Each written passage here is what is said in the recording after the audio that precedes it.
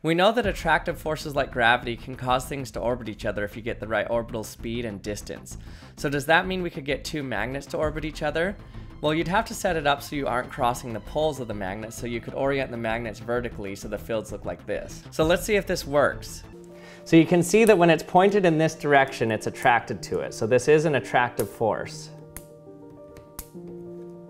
So now let's try to wiggle it around it, and now I'll stop wiggling. Whoa, it actually orbited around it. It actually does work pretty well, but no matter how hard I tried, it always spiraled into the center eventually.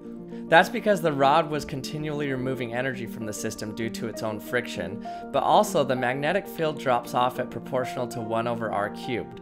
But in order for a stable orbit to occur, the field has to drop off at exactly 1 over r squared, just like gravity. So you can't get stable orbits with the magnetic field.